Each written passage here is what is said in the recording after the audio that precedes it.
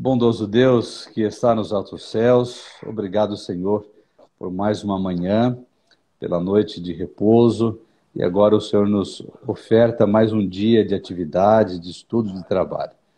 Queremos colocar a nossa vida em primeiro lugar em tuas mãos, porque não tem sentido a gente buscar ah, os nossos interesses se o Senhor não estiver em primeiro lugar na nossa vida porque o Senhor faz a diferença em todas as nossas escolhas. Queremos agora, Senhor, concluir essa jornada maravilhosa, é, estudando e, e compartilhando esse livro tão especial, Os Ungidos, e hoje encerramos, fechamos no capítulo 60. Fique ao nosso lado nessa conversa, que a gente tenha sempre a tua direção e o poder de atender, Senhor, as grandes verdades da Bíblia. Em nome de Jesus. Amém, Senhor. Amém. Amém. É isso aí, meu amigo. É isso aí, pastor. Com imensa honra que eu passo a palavra para o senhor. Tá bom. Antes de a gente começar aqui, como que você tá, Willi? Tô aí. É, rapaz, rapaz, tô com saudade de você, amiga. Também tô com saudade. É, o pastor recebi esses dias uma mensagem do pastor Leonardo, é, me convidando aí para um momento de imersão jovem lá, né? Isso, esse sábado agora, né? Sim.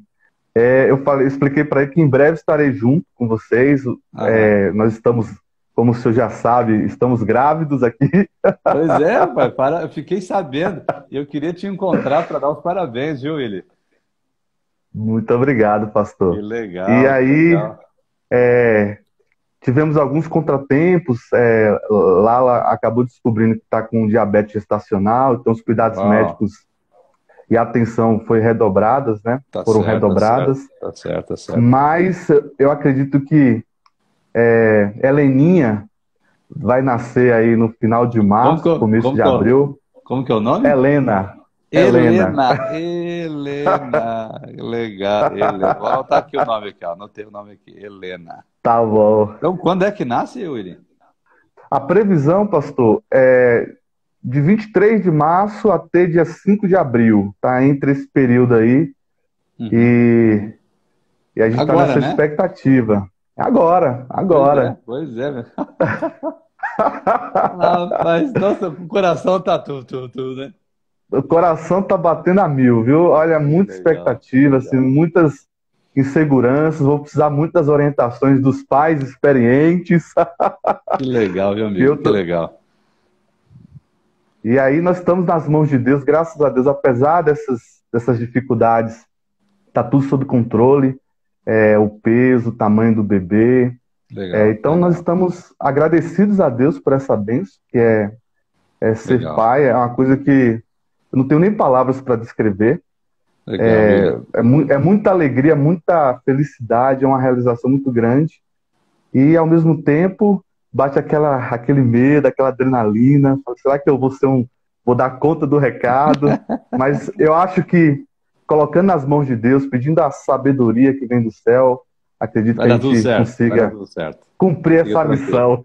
Com certeza. Obrigado. Então, olha, vou aqui, eu já coloquei aqui, anotei, vou orar em especial pela Lara, tá bom? E Obrigado. pela Helena também, que está no seu. na reta final, né, amigo? Está na reta final, Helena. Na reta final. Nascer. É isso aí. Benção do Senhor, viu, amigo? Bom. Amém. Bom. Pois é, Willy, nós estamos aí fechando os Ungidos, né? Esse livro poderoso, especial, que, que traz aí uma narrativa histórica, né? Bíblica, é, histórica também, é assim mais próximo aqui da, é, é, da nossa era, né? E faz a gente entender um pouco mais é, qual é o contexto em que nós vivemos e para onde Deus está nos levando. Essa é a grande realidade né? Porque se a gente não conhece o mundo que a gente vive e para onde Deus quer nos levar, a gente vai gostar mais desse mundo, né? A gente Verdade. vai gostar dessa realidade aqui, porque ah, tá tudo bem, tem muita gente aí, tu sabe disso, que, que a vida que leva não, não, não pensa muito em céu, né? Porque a vida que leva é muito boa e assim por diante. Outros já têm o oposto, que é a vida muito difícil, muito trágica, assim por diante. Mas a realidade é assim, que nós precisamos entender é, quem nós somos como seres humanos, né? qual é a nossa identidade? Qual é a nossa identidade? Da onde nós viemos, né? São as grandes respostas existenciais que nós, às vezes, o ser humano não consegue responder, mas biblicamente nós respondemos. Nós somos filhos de Deus. Nós somos filhos de Deus. Nós somos criados em um mundo de perfeição. E nós e Deus está nos levando para esse mundo novamente. Essa é a grande realidade, né? Porque essa situação que a gente vive não é o plano do Senhor. Então, mesmo a gente vivendo com alguns momentos alegres e momentos confortáveis e tudo mais, é ainda fora do ideal de Deus. Então, nós não vivemos na plena felicidade, né, William? Nós não vivemos, não vivemos, não vivemos né? Não vivemos assim na, sabe, no, no contentamento ideal. Nós não vivemos. Então, aquilo que a gente vive aqui é, eu vou usar uma palavra aqui, nós vivemos em uma mentira, né? É uma mentira. Uma inimigo, ilusão. Uma ilusão. O inimigo é mentiroso. O inimigo ele cria essa falsa ilusão de que está tudo muito bem, né? Que dá para viver aqui, mas não é assim. Então Deus ele, ele tem um plano extraordinário para a nossa vida. E esse livro vem trazendo essa narrativa até chegar ao capítulo 60, que fala sobre a visão de um futuro glorioso, que Deus tem algo maravilhoso para é, os seus filhos, né? Para você, para mim, para todas as pessoas que estão assistindo, aí os nossos amigos que estão assistindo, o que vão assistir depois. Deus tem esse futuro, desse plano maravilhoso para todos nós. E sabe, William, é interessante, não sei se você percebeu que esse capítulo ele concentra no livro de Isaías, né? Percebeu isso, né? Verdade. Né? Sim. Então ele fica ali, os textos, a maioria, vou dizer que quase 90%, é do livro de Isaías. Interessante que essa segunda parte do livro de Isaías, que é o, o enredo aqui do capítulo 60, é como se fosse o, os evangelhos do livro de Isaías, né? Que fala muito sobre, sobre Jesus, sobre essa expectativa, sobre é, o que Deus planeja para cada um de nós e assim por diante, né? Mas olha, ele já abre aqui que nós devemos ter, William, é a, colocar a nossa confiança em Deus. Eu creio que esse é o caminho, sabe? Esse é o caminho. É a gente ter a nossa confiança naquilo que realmente é, nós teremos é, resultado. E eu quero já abrir aqui, eu, eu, eu quero convidar os nossos amigos aí a pegar uma Bíblia, sabe? Pode pode ser aí, quem sabe, no, no, num tablet, pode ser a Bíblia mesmo. Pega a Bíblia aí. Nós iremos aí é, nos demorar alguns textos aqui do livro de Isaías. Tá bom? Tá bom. Beleza? Tá, tá legal o áudio aí, William? Tá meio ruim? Eu tô... Tá legal. Tava, tá é, no comecinho deu uma, uma, pequena falha, assim, alguns cortes, mas é. agora tá, tá bom. Tá, tá HD agora. Então tá bom, belezinha, belezinha. Então vamos lá, Isaías capítulo 43, olha só. Isaías 43, verso 1 a 3. Pega a Bíblia aí, William, e o, a galera tá. também pode, pode pegar a Bíblia aí nesse momento. Nós vamos é, falar um pouquinho sobre esse contexto maravilhoso, né? É, é sempre comparando com aquilo que Deus é, tinha planos com Israel, Israel do passado, mas fazendo uma ligação com o Israel do futuro, com a nossa vida hoje, com o que Deus planeja para você e para mim, para todos nós, né?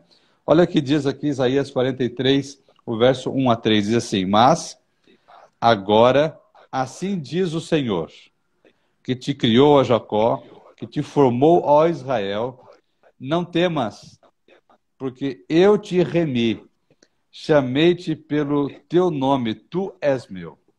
O verso 2: quando passares pelas águas, eu serei contigo.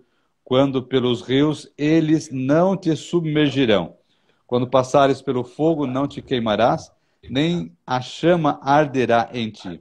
O verso 3: Porque eu sou o Senhor, teu Deus, o Santo de Israel, o teu Salvador. Aí dei Egito por teu resgate, Etiópia e Seba por ti. Então, esse texto, é, William, ele abre uma realidade extraordinária. O Senhor dizendo, queridos, é, não tema, não se preocupe, não se desespere nesse mundo. Olha, é, quer uma palavra mais de conforto e um toque mais especial para os dias em que nós estamos vivendo? Deus diz o seguinte: olha, não entre em parafuso, não entre em parafuso, mesmo que o mundo está todo assim, olha, nesse turbilhão, e agora, né, William, você que é da área mais voltada aí à, à parte médica, né, entende mais desses detalhes, né, é, a parte de saúde, né, William, é, vindo essa nova onda, essa nova, esse vírus que vai se mutando e as coisas se complicando aqui e ali, Deus fala o seguinte, queridos, não tema, não tema, porque eu remi você, eu remi você. Em outras palavras, você é meu filho. Olha que extraordinário. Você é meu filho, tu és meu.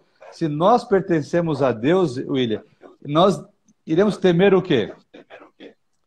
Nada. Se Deus é por nós, quem será quem contra será nós? Contra? E aí vem outros, outros elementos, né? Olha, quando você passar pra, pela água, eu serei com você. Quando você passar pelos rios, eu, eles não te submergirão. Quando você passar pelo fogo, você não vai ser queimado. Então, olha que interessante. Deus dizendo o seguinte: não importa o que você passe, não importa o tamanho da dor que você viva, não importa o tamanho ou o gigante que você tem que enfrentar, eu estou com você. Eu estou com você. Pastor. E nada vai afetar um filho de Deus. Diga, William. É, é, todo esse contexto que a gente está vivendo e esse capítulo ele nos remete a algo, a um fato que às vezes nós, como seres humanos, nos esquecemos, que é a nossa vulnerabilidade. Né? A gente às vezes constrói os nossos castelos, os nossos impérios, as nossas certezas, e aí vem um vento, vem uma água, vem o um fogo, toda essa simbologia espiritual que tem esses, esses componentes da natureza, e tira isso da gente, e a gente se vê necessitado e carente de um consolo. E é maravilhoso saber que Deus ele nos oferece esse consolo explicitamente em Sua palavra. Verdade, verdade. Porque o que Deus quer fazer? Deus quer nos confortar agora, nos dar segurança agora, e Ele diz o seguinte: olha, eu vou levar você para o meu ideal, para a minha realidade, para os meus sonhos, para os meus planos. É por isso que eu e os nossos amigos aqui nós temos que confiar em Deus, é uma questão de confiança. É entregar a nossa, nossa vida ao Senhor completamente. Né? E quando nós fazemos isso, é, nós abrimos mão do nosso ideal para Deus nos levar para o ideal dele. E é isso que vai fazer toda a diferença em nossa vida. Né? Agora, aí que está o desafio, né? Aí está o desafio. Será que nós estamos dispostos? Será que nós confiamos é, suficiente em Deus para abrir mão do nosso ideal que nós achamos, da, dos, nossos, é, é, dos nossos desejos, dos nossos planos, para se jogar no ideal de Deus e permitir que Ele conduza a nossa vida. Era o que Deus queria fazer com Israel. Né? Ele estava na condição ainda de, de cativeiro e tudo mais. Deus falou o seguinte: olha, eu vou tirar vocês aí do cativeiro e vou levar vocês para o meu ideal, que é a terra prometida, que é um lugar que eu estou planejando para vocês. Olha que fantástico isso. E interessante que a gente vai vendo a narrativa, o capítulo entrou nisso, mas já fazendo um abre e fecha parênteses aqui. É, depois de receber a autorização, né, o decreto, que poderiam voltar para reconstruir a vida, muitos é, ficaram lá na condição da Babilônia porque não queriam voltar para a terra que Deus é, havia é, é planejado, né? ou seja, voltar para Jerusalém. Então, é interessante, é, é a questão de confiança. Será que eu estou confiando plenamente no Senhor?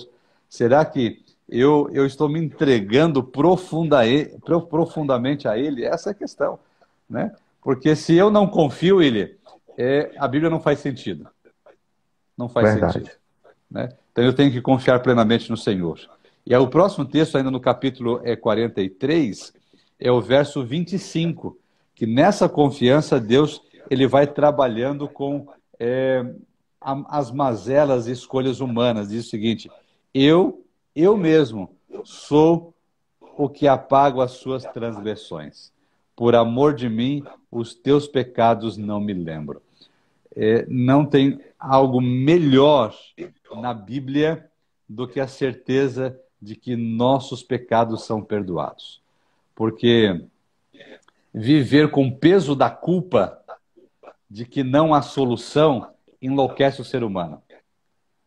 Algumas pessoas vivem aí é, desesperadas pelo peso, pelas escolhas, pelas decisões erradas e pelas consequências erradas, porque não sentem um alívio daquilo que cometeram. Isso é terrível. Isso é terrível, né, William? Você viver é o dia a dia com o peso de algo que você cometeu e não tem uma solução para isso.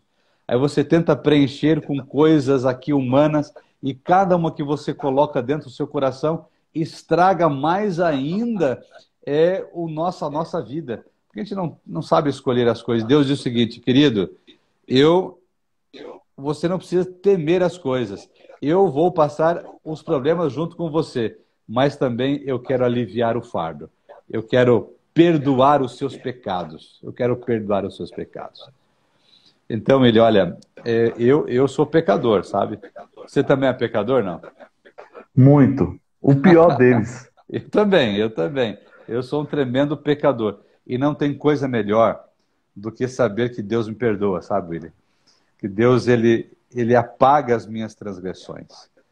Que ele diz assim, Jim, olha, eu, eu esqueço do seu passado. Eu esqueço do seu passado. Eu não me lembro do seu. É o que diz o texto, né? Eu não me lembro mais do, seus, do seu passado. Daqui para frente, você tem a oportunidade para escrever uma nova história. Uma nova história. A pior coisa que tem, né, William, é as pessoas que sempre nos lembram dos nossos erros, né? Pior coisa que tem. É alguém chegar e falar assim, olha, eu não esqueci o que você fez, né? E geralmente essas pessoas, elas vêm assim para tirar sangue da gente, né?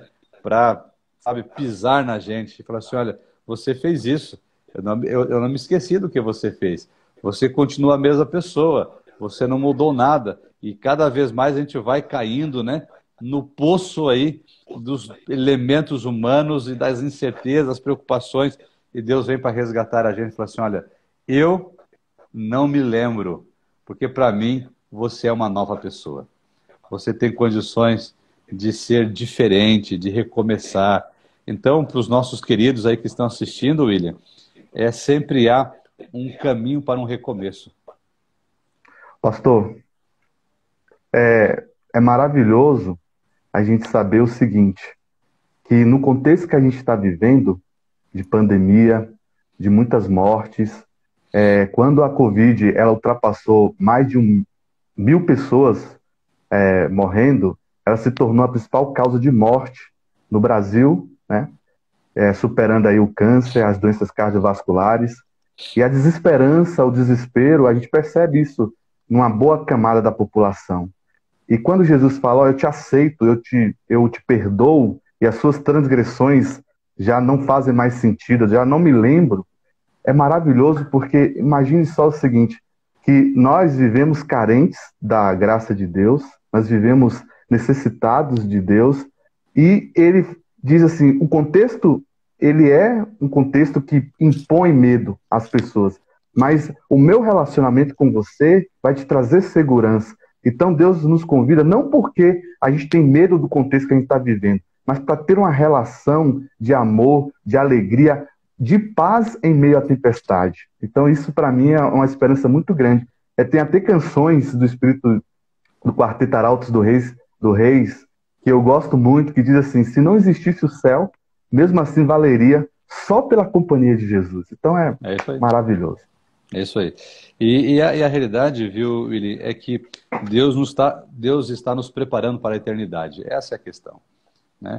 Então, Ele quer nos dar segurança para avançar, confiança nele para avançar.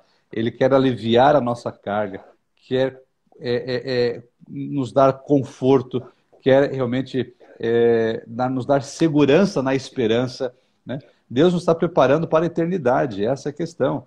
Né? E quando a gente vai aqui, voltando aqui para os detalhes do capítulo, olha só o que diz o, o, o, capítulo 40, 24 de Isaías, né? Do capítulo 60, ele trabalhou muito com Isaías, como eu falei no começo. O capítulo 24, o verso 5, é, olha, olha as, as, os elementos aqui que Deus coloca em relação ao que vai acontecer com esse mundo. Diz o seguinte, olha, capítulo 24, verso 5 de Isaías diz assim: Na verdade, a terra está contaminada por causa dos seus moradores. Olha que coisa. Porquanto transgridem as leis, violam os estatutos e quebram aliança eterna. Então, é, é, a terra está toda mergulhada no caos, toda mergulhada no caos. Aí, é claro que alguns vão aí mais para os elementos ecológicos, né? É, do cuidado com a terra. Nós devemos nos preocupar com isso, né, William? Tem que se preocupar com essas questões é, é, do planeta e tudo mais.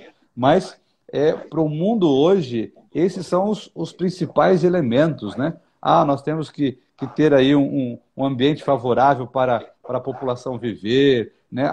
tirar aqueles que estão na miséria, a questão da, da água, do ar, né? a poluição e tudo mais, os efeitos climáticos, aquele negócio todo, né? a, a política e tudo mais. Mas o que a Bíblia ressalta é que a terra está contaminada não por questões que de elementos naturais aqui, está contaminada porque as pessoas estão transgredindo as leis de Deus, as leis de Deus. Então violam os estatutos, estão quebrando a aliança eterna. E quando alguém transgride a lei de Deus, quebra a aliança de Deus, ela sai fora do plano de Deus. E aí vira o caos que, que nós estamos vivendo agora. Né? Aí nós vemos a imoralidade, ela se tornando a grande verdade hoje, nossos dias. Né? Nós vemos uma inversão dos valores, né, William? Inversão dos valores. Então, você vê em outros contextos aqui da Bíblia, é, eu, eu quero citar aqui, olha, você, você vai aqui para o finalzinho do Novo Testamento, do Antigo Testamento, quando é, você vê aqui Abacuque, né?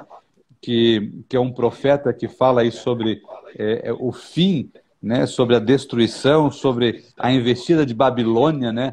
É, para Jerusalém, ele, ele traz um elemento interessante aqui. Capítulo 1, verso 4, ele fala o seguinte: olha, a lei se afrocha e a justiça nunca se manifesta, porque o perverso cerca a justiça e a justiça está torcida. Olha que interessante isso. Então, quando nós nos afastamos das, das leis de Deus, quando nós nos afastamos dos estatutos de Deus, a justiça ela se inverte. Então, aquilo que era certo, William, se torna errado. E aquilo que era errado é a grande verdade do momento. E quando você e eu levantamos a bandeira da verdade, nós somos confrontados. É verdade. Nós somos estigmatizados. Nós somos colocados na margem das discussões e somos taxados aí como, quem sabe, um povo que, que é apenas é, voltado para não para o bem comum, não para o pensamento social, né? E, e vamos aí para umas questões mais delicadas, né? mais delicadas sociais. Por quê? Porque abandonamos as leis de Deus, abandonamos os estatutos do Senhor, quebramos a aliança de Deus. Ainda que no, no, no Isaías, o capítulo próximo, capítulo é, é, 25, verso 8, olha o que diz assim: olha. Tragará a morte para sempre, e assim enxugará o Senhor Deus as lágrimas de todos os rostos e tirará de toda a terra o opróbrio do seu povo, porque o Senhor falou. Naquele dia se dirá: Eis que esse é o nosso Deus em quem esperávamos, e ele nos salvará. Este é o Senhor a quem aguardávamos. Na sua salvação exultaremos e nos alegraremos. Então, é, é o contexto, né? Dizendo o seguinte: olha, é, houve uma quebra dos mandamentos do Senhor, houve transgressão, houve é, abandono da aliança do Senhor. É por isso que a terra vive no caos que vive. Mas há esperança. Há esperança para a morte, há esperança para essa realidade, há esperança para aqueles que choram, para aqueles que se lamentam, há esperança para a terra, há esperança para o ser humano. E aí vem essa declaração do verso 9, né? aonde muitos irão dizer: Esse é o nosso Deus. Então, aqui é uma declaração dos santos, dos salvos, dos tementes, daqueles que é, confiaram em Deus. E é impressionante, sabe, William, que a grande palavra, eu creio para esse capítulo, é, que fala sobre o futuro glorioso, a grande palavra é confiança. É confiança. Verdade. E é quando, quando nós entramos nessa, nessa realidade de confiança, todos os outros elementos eles, eles se encaixam. O que aconteceu lá no Jardim do Éden, no começo da história bíblica aqui, foi uma quebra da confiança em Deus. Né? Eva, foi. quando ela se aproximou da, da árvore, ela ficou com esse dilema: será que eu posso continuar confiando em Deus? Ou essa, essa fala da serpente é, é algo assim, é, é, é, é melhor? Então, sempre essa, essa luta no meu coração. Eu, eu confio em Deus realmente ou eu tenho um caminho melhor? eu posso buscar outros elementos. A questão é a confiança. E aí vai. Diga. É, um, um outro, uma outra palavra-chave que me veio à mente foi intimidade. Porque intimidade. quando você estava descrevendo, descrevendo o capítulo que fala que Deus enxugará dos olhos toda lágrima, eu fiquei pensando de quem nós enxugaríamos a, a, as lágrimas. Provavelmente o Senhor enxugaria as lágrimas do filho que estivesse passando por dificuldade, ou seja, uma pessoa íntima da sua esposa, dos seus familiares, dos seus amigos. Então, a amizade, a intimidade, quando você é, contempla a esperança do porvir, é, nos remete a essa intimidade com Deus. Deus enxugará dos olhos a lágrima dos nossos, das nossas faces, porque Ele é íntimo, porque Ele tem amizade conosco, porque nós nos relacionamos com Ele. E eu acho que quando a gente fala de transgressão, a maior transgressão que o ser humano pode ter é justamente se afastar de Deus. Porque é, quando a gente às vezes fala de transgressão, as pessoas podem entender, ah, é, é um comportamento religioso. Então, você segue comportal, comportalmente é, a sua religião e você então, é, ao é, não seguir ou não observar o mandamento, você se afasta de Deus, então você transgrediu. É muito mais profundo. É, envolve a entrega do coração, envolve a amizade. E a maior transgressão, sem dúvida, é você se afastar de Deus, é você, mesmo é, tendo comportamento religioso, mas se não há a intimidade, se não há confiança, então é, exige uma reflexão e uma mudança de vida. É, você falou uma palavra interessante aí, viu, viu Willi? Comportamento, né? Algumas pessoas elas, elas baseiam a sua, sua, sua fé é, no comportamento, né? Então, assim, é, eu, eu tenho um comportamento é, bom, um comportamento agradável, um comportamento aceitável, então, naturalmente, eu identifico isso como, não, não, eu sou uma boa pessoa, a minha espiritualidade está bem e assim por diante. Então, a relação não é com o comportamento, né? não é com as circunstâncias externas mas é naquilo que eu acredito no fundo do meu coração, né? Então, não é baseado nos bons comportamentos, porque pelos bons comportamentos, pelas boas ações, ninguém será salvo. Não é isso? Verdade. Ninguém será salvo. Verdade. Né? Então, nós não, não, não seremos salvos pelo que nós fazemos, nós seremos salvos pelo que nós acreditamos, pela fé em Cristo Jesus, pela entrega que nós fizemos. E por isso que, vamos colocar essas duas palavras agora, viu, William? Você jogou mais uma aqui, intimidade, né? Então, é, o que, que é intimidade? Intimidade é, é relacionamento, é conhecimento, é, é você é, entrar assim, sabe, de uma forma mais, mais profunda nesse, nesse conhecimento. Você conhece coisas que outros não conhecem. Isso é intimidade. Então, um casal, marido e mulher, marido e mulher, é, se espera que um casal, marido e mulher, eles sejam íntimos né? E a intimidade, ela, ela envolve é, é, a profundidade nesse relacionamento, o diálogo, né? É as questões, o alinhamento das ideias, dos desejos, dos planos. Então, é íntimo. Eu sei coisas da minha esposa que ninguém mais sabe, que nem às vezes os pais dela sabem, e ela sabe de mim coisas que ninguém sabe, porque nós somos íntimos. Né? Somos profundos. Eu conheço, ela conhece. Um entrou dentro da vida do outro e assim por diante. Agora, é, quando a gente vai, essa relação com Deus é uma realidade, né? A intimidade com Deus. Eu me aprofundo no Senhor. Ele me conhece profundamente porque eu permito que ele me conheça profundamente. Né? Eu dou, eu dou espaço para ele. Não que Deus precise disso, né, William? Deus me conhece a despeito de eu permitir ou não, mas a permissão minha para que ele entre profundamente na minha intimidade transforma a minha vida. Essa é a grande questão. Verdade. Transforma a minha vida. Verdade. E hoje, sabe, William, a gente vê é, as pessoas que querem ter, olha só, querem ter intimidade com Deus sem a transformação que Ele quer oferecer. Só que não há como viver essa realidade, né? Se você tem intimidade com Deus, você é transformado por Ele. Se você tem intimidade com Deus, os valores é, é, é, humanos, os valores humanos, eles perdem, perdem sentido. Para os valores eternos começarem a ter sentido na minha vida. E eu me projeto para a eternidade. Então, é, a intimidade me leva para ter assim, ó, a confiança no Senhor. A confiança no Senhor. É, ainda aqui no capítulo, no Isaías, o capítulo 26, o verso 19, é uma esperança para aqueles que perderam seus queridos. Né? É, ali nós falamos um pouquinho, né? Tragará a morte para sempre, ou seja, a morte será vencida, vai enxugar as lágrimas das pessoas que, que têm as suas tristezas, os seus problemas. Mas o verso 19 do capítulo 26 diz assim: E os vossos mortos e também o meu cadáver viverão e ressuscitarão.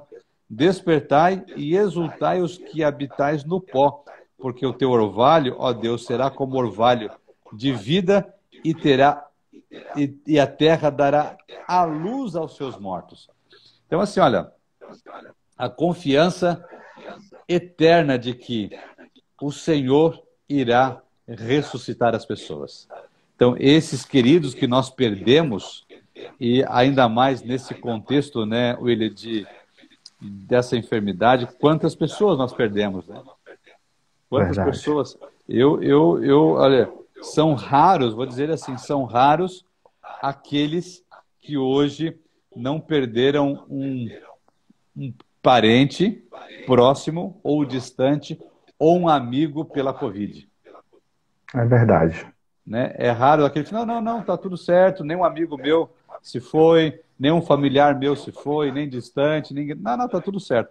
É muito raro isso. Eu perdi, viu, William? Agora, em janeiro, uma tia, irmã do meu pai, por causa da Covid. Né? Agora, recentemente, foi um, um baque muito forte assim na família. Né?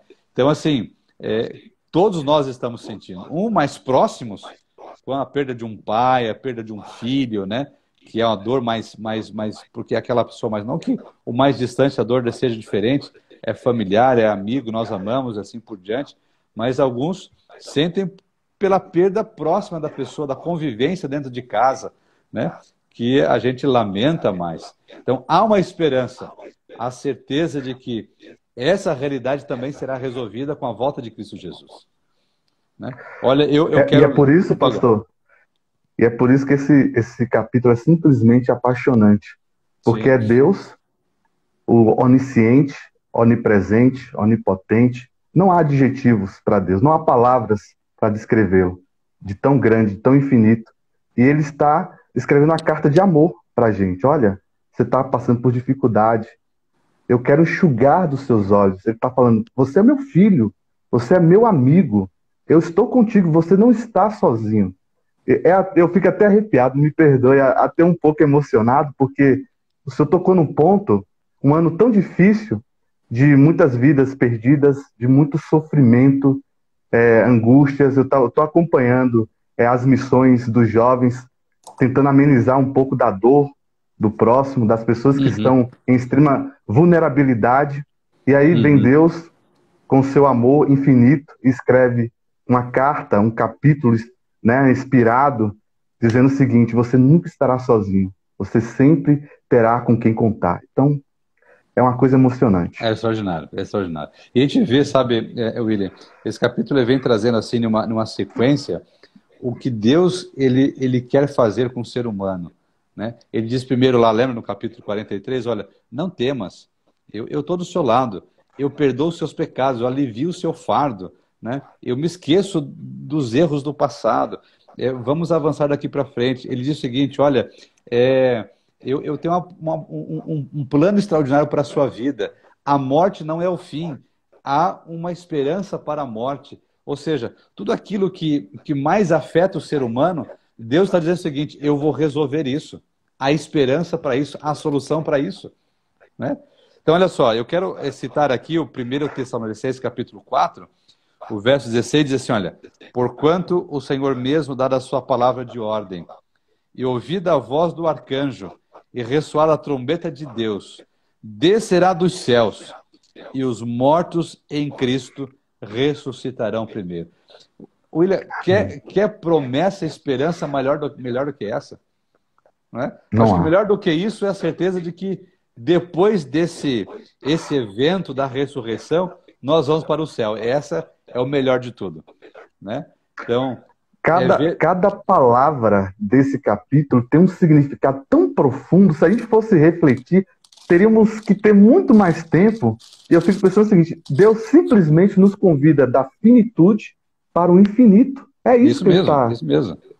Ele está nos convidando para que a gente tenha vida eterna. Olha só, quanto tempo nós temos nessa vida? Qual é o, qual, quando será o nosso último dia? Nós não sabemos. Talvez nós iremos viver 80 anos, 90 anos. Olha, muito bom chegar aos 90 anos. Talvez a gente não chegue é, a, essa, a, a, essa idade, mas Deus fala assim: olha, vai chegar um momento que eu vou quebrar a barreira do tempo. Esse sofrimento que vocês estão vendo, ele vai cessar.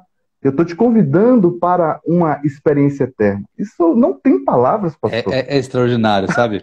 E, e sabe, William, e, e, comparando, olha, a, a, eternidade, a eternidade, fazendo aí um, um gancho com o que você comentou, comparando a eternidade com o que nós vivemos hoje, e, e eu, eu escuto, sabe, é, é, algumas pessoas dizendo assim, William, assim, olha, pastor, é, eu, eu, eu sou a segunda, a terceira geração de, de, de crentes na volta de Cristo Jesus, de adventistas. Porque adventista é aquele que, que crê na volta de Cristo, não é isso? Crê no advento, por isso que é adventista, crê no advento, na volta de Jesus.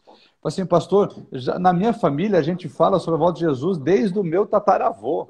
Deus, desde o meu bisavô, desde o meu pai. E, e, Jesus não voltou ainda. Eu tenho 60 anos, eu tenho 80 anos, eu tenho 30 anos. E desde pequenininho eu escuto falar: ah, Jesus vai voltar, Jesus vai voltar, vai acabar com tudo, vai ser uma vida melhor. E Jesus não voltou. Ah, pastor, olha, está é, tá muito difícil de continuar é, vivendo essa esperança, porque ele está demorando demais. Eu quero fazer aí um contraponto, sabe, William? Você que é um cientista, é, vai poder me explicar essa, essa relação.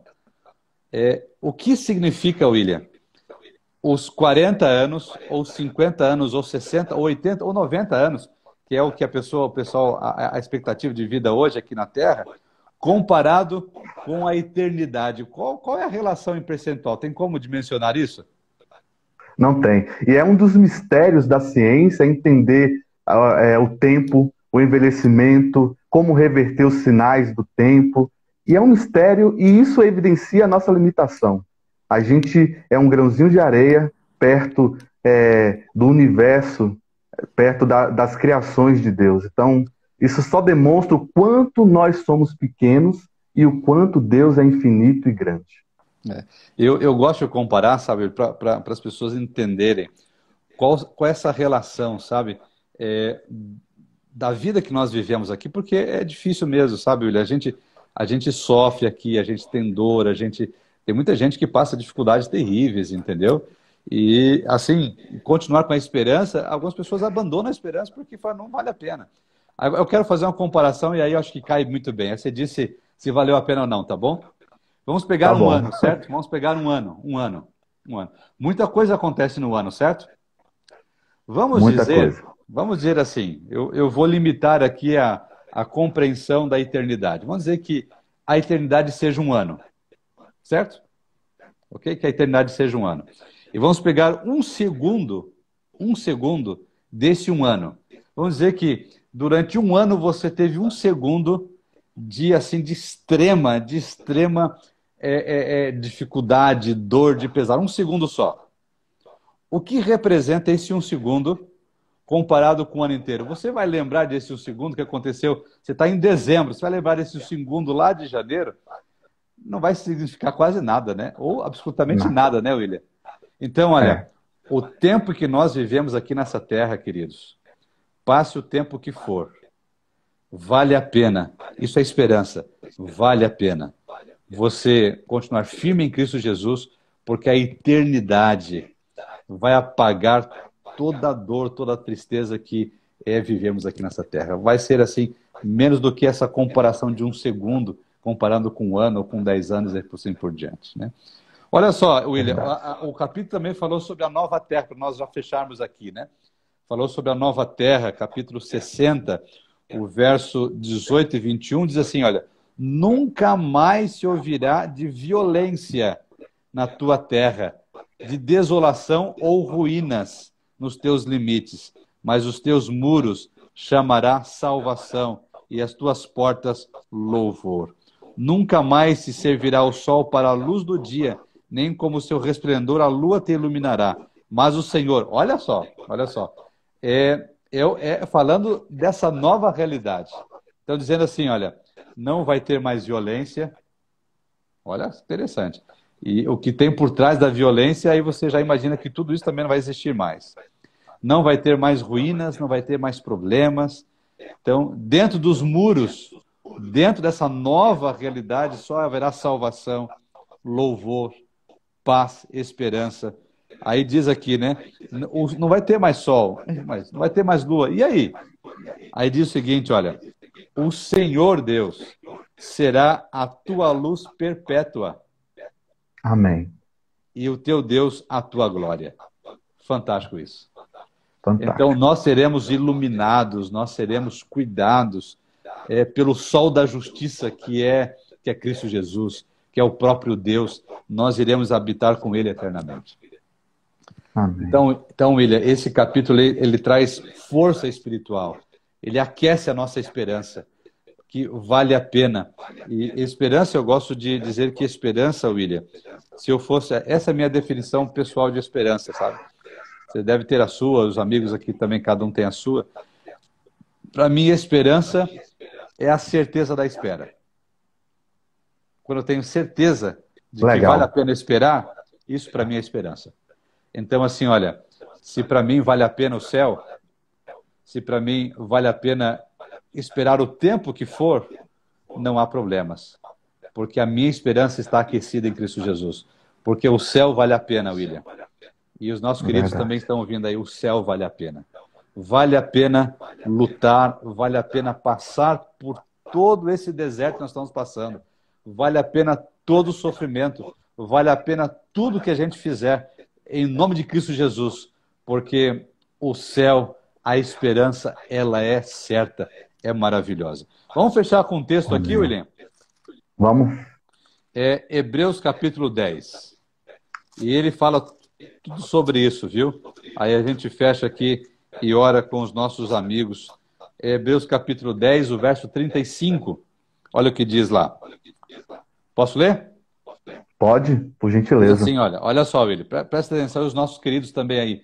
Olha que interessante esse texto que fecha o capítulo e fecha o livro e aquece a nossa vida.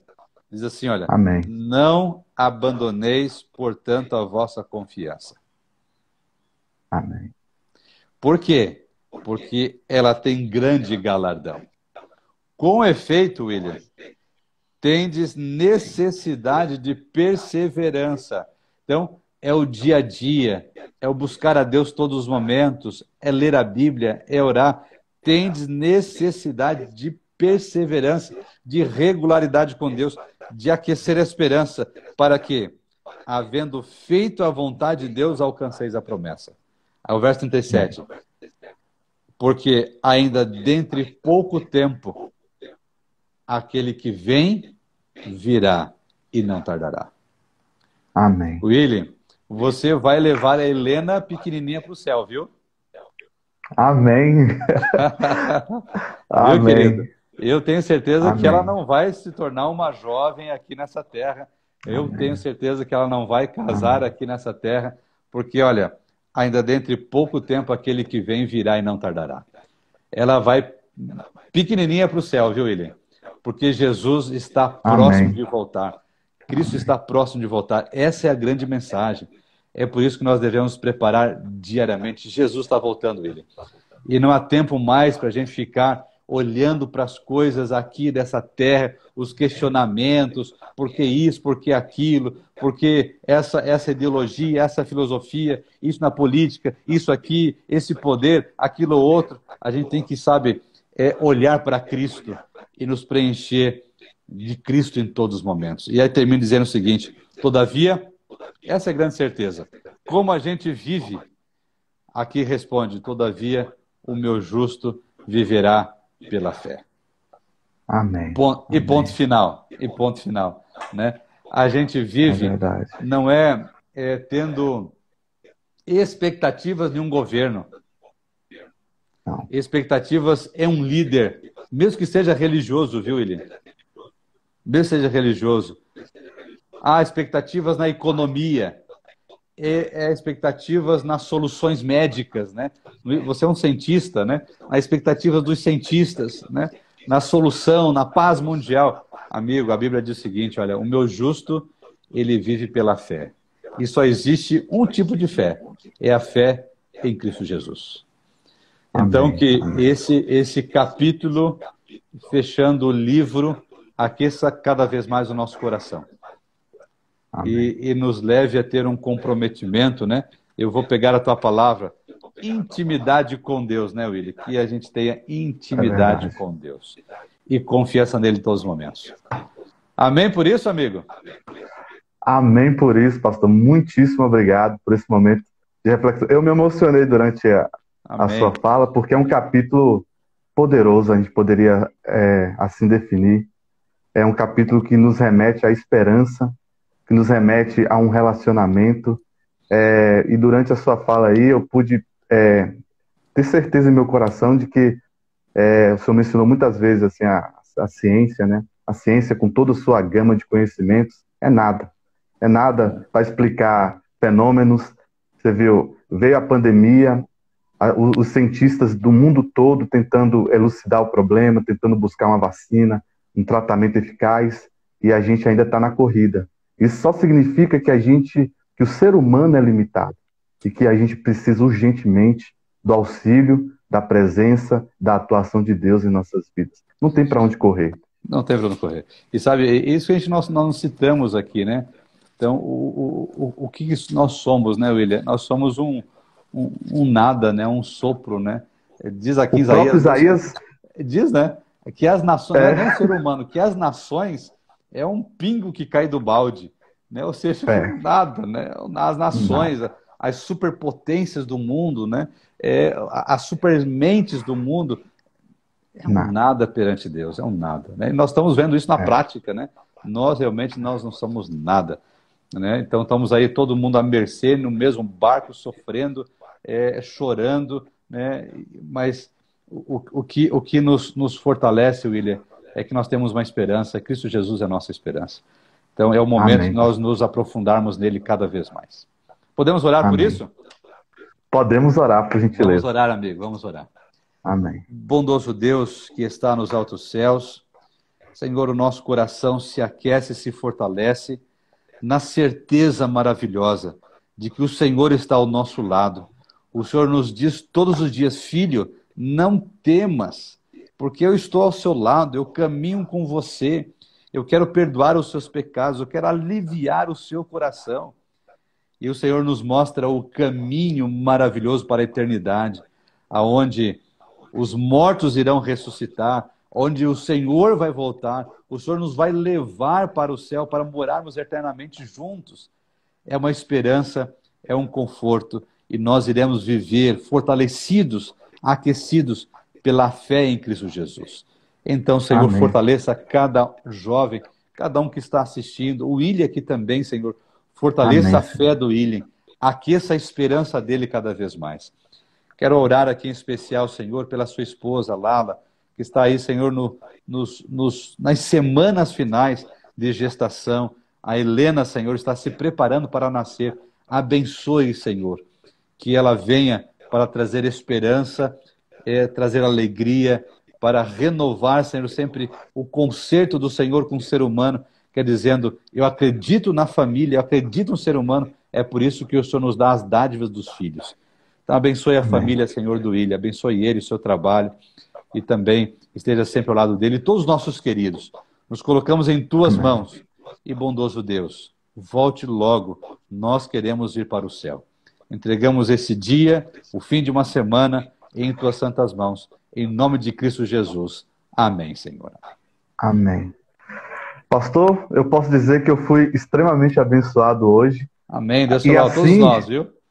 A todos nós. E assim a gente encerra a quinta temporada. Olha, é, eu, se eu fosse deixar uma mensagem para cada um de vocês, com muito carinho, com muito amor, eu diria o seguinte: confie em Deus. Do jeito que você estiver, com a vida que você estiver levando, se volte para Deus. Ele não te abandonará nunca. Ele isso sempre mesmo. trará em seu coração a esperança. E é isso que, e é com essa mensagem que eu tenho a imensa honra de finalizar o livro Os Ungidos e também a quinta temporada. E eu espero, pastor, que em breve nós começaremos aí a sexta temporada, a sexta com temporada, mais lições para as nossas vidas. Então eu quero deixar um abraço bem apertado para cada um de vocês que está nos acompanhando nesse momento, que irá assistir é, essa, essa, essa transmissão é, no canal do YouTube, que você seja abençoado, que todos nós juntos tenhamos aí um dia na presença do Senhor. Forte Amém. abraço, pastor. Muitíssimo Valeu, obrigado. Um abração, e até viu? a próxima. Um tá bom, obrigado. Tudo de bom. Tchau.